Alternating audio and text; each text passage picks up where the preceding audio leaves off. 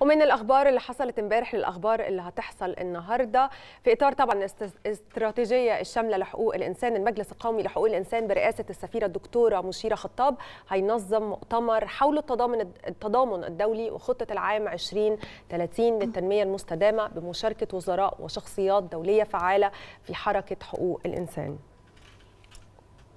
كمان النهارده مجلس الدولة هينظم أداء الدفعة الجديدة من القضاء المعينين بقرار رئيس الجمهورية لليمين القانونية قبل استلامهم مهام مناصبهم وده هيكون الساعة 10 الصبح بمقر مجلس الدولة الرئيسي.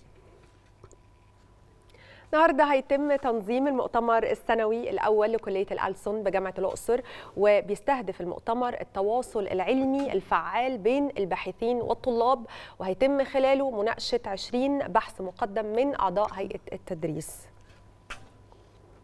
كمان النهارده أكاديمية الأزهر العالمية هتنظم برنامج تدريبي للأئمة والوعاظ بعنوان إعداد وتأهيل المصلح الأسري وده بهدف الحفاظ على تماسك المجتمع ودعم استقرار الأسرة المصرية.